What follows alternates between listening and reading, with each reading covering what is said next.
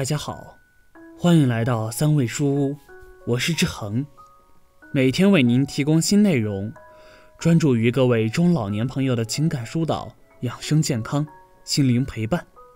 您的到来是志恒最开心的事情。在生活中，我们经常看到一些老人有很多子女，却没有人愿意赡养。这些老人要么像皮球一样被子女踢来踢去。要么就是在子女家受尽白眼。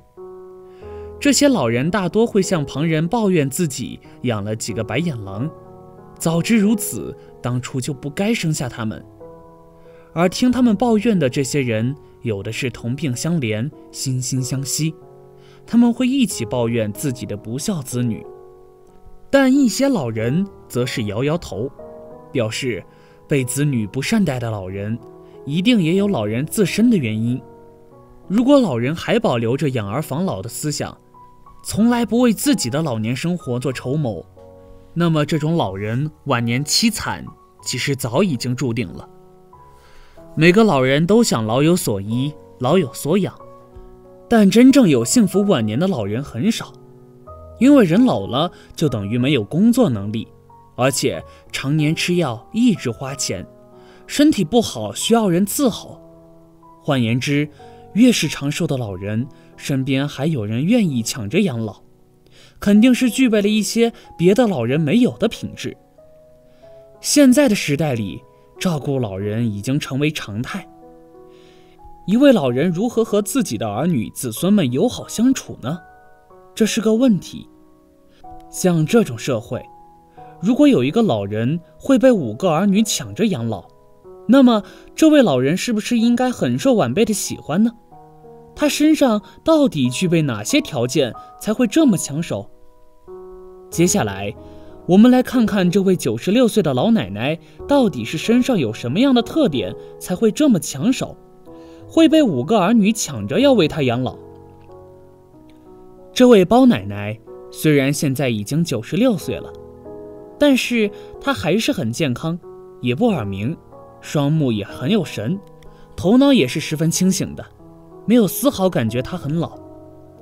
他的老伴是在八十五岁去世的，但是他并没有为这件事伤心欲绝，而是选择乐观面对，而且越活越乐观。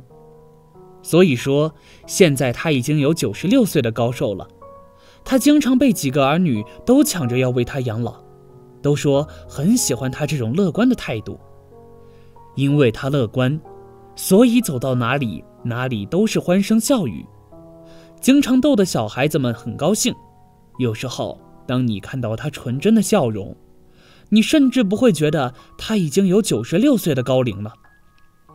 当别人问起宝奶奶为什么这么乐观，有没有什么长寿的秘诀的时候，宝奶奶总是很谦虚的，更羡慕他人的说：“其实自己也没有那么厉害。”只是我的儿女们都很争气，他说他只是尽了一个母亲该有的责任。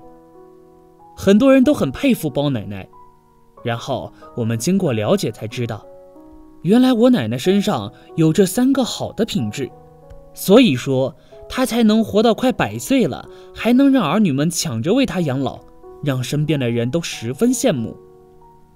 第一点，本性向善，品行端正。远见卓识。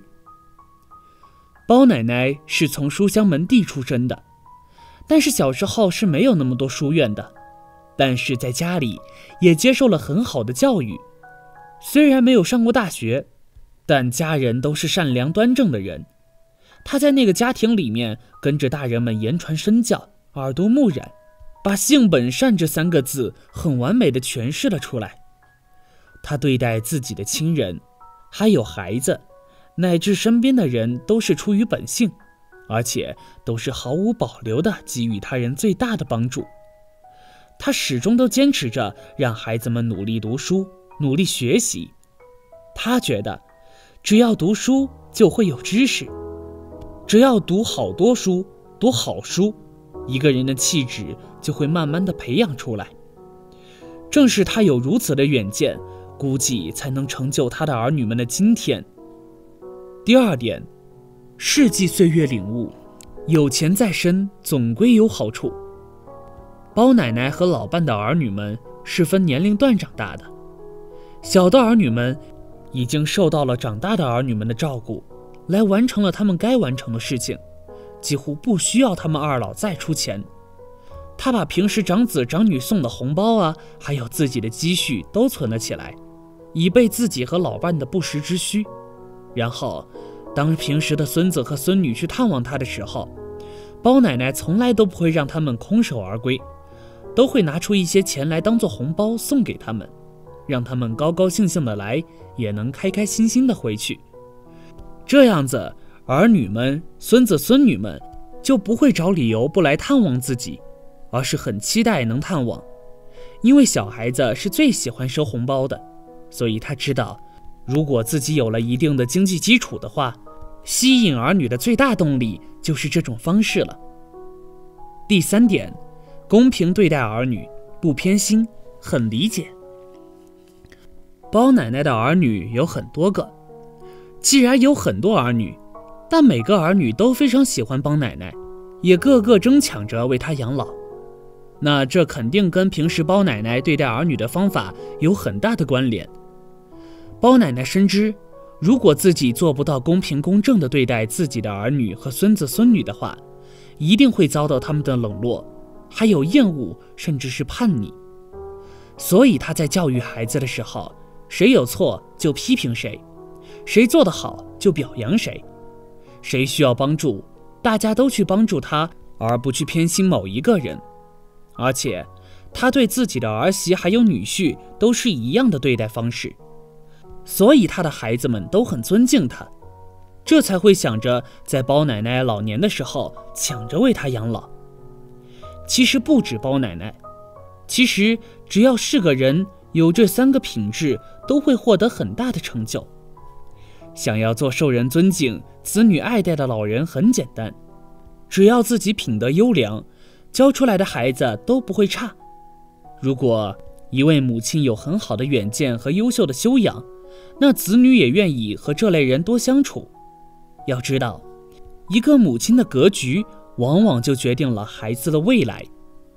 如果你拥有这上面三种优良品德，那么你就会受到子女的尊敬，你的孩子们也会以你为荣，让你有一个幸福的晚年。这样的一位老人在家中，也是子女的福气，家里热热闹闹，子孙满堂，日子自然也能红红火火。作为一个母亲，肯定是要教育好自己的儿女。